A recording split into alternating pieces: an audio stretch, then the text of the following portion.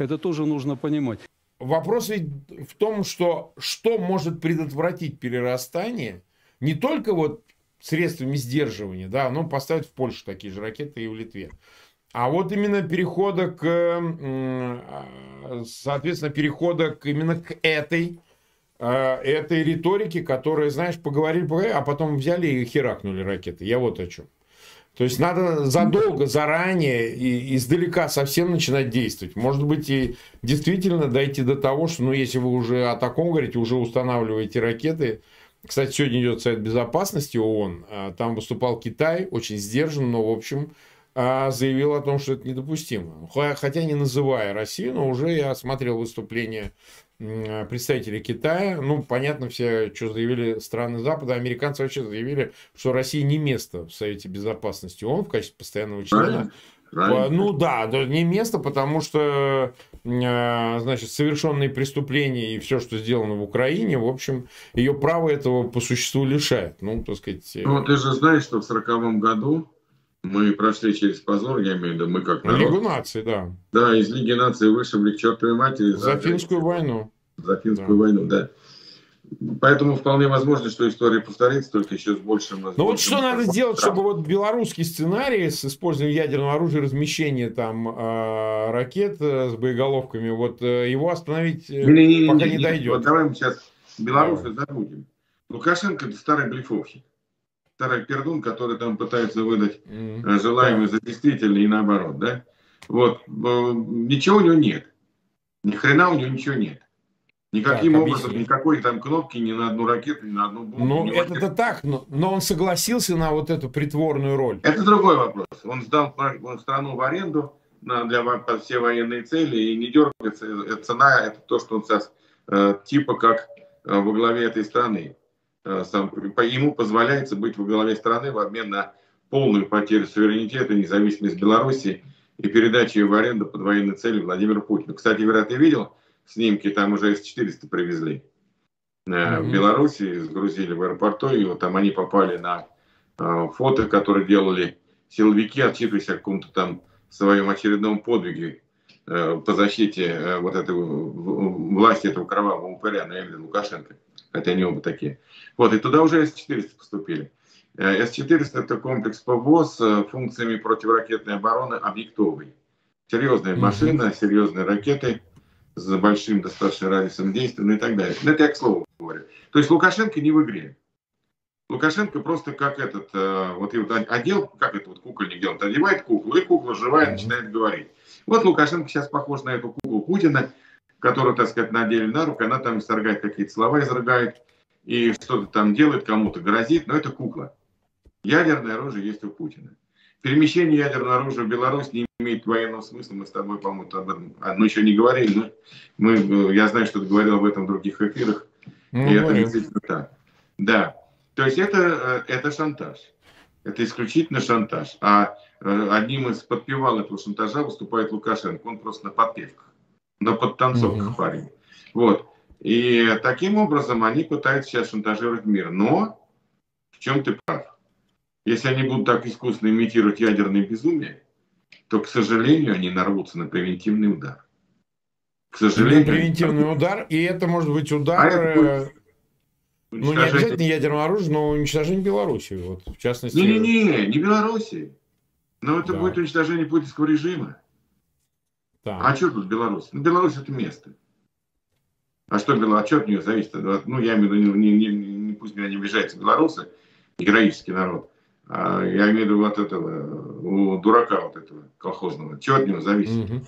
Да ничего. Ему скажут, давай кричи, он кричит. Скажет, давай молчи, он замолчит. Он и одна задача, никуда не влезать в эту войну, чтобы не перемануть своих силовиков и не лишиться власти. Другой задачи нет. И сосать с Путина деньги, чтобы поддержать тех силовиков, которые стоят на его защите. Между больше ни хрена никакой сейчас задачи нет.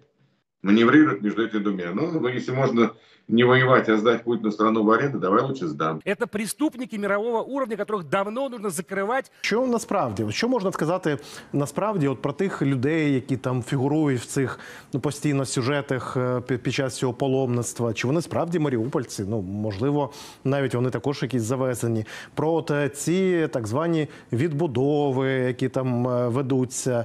Е, Тобто, як можна зараз от розвінчати той пропагандистський миф, е, який знову ж таки на тілах, на кістках, на е, крові маріупольців будує оця блюзнірська російська пропаганда?